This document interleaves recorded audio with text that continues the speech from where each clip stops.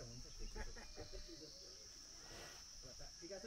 यो यो बिस रुपियाँ गाडी दिन सकिँदैन अर्को चाहिँ पचासको तिनवटा दिन यो त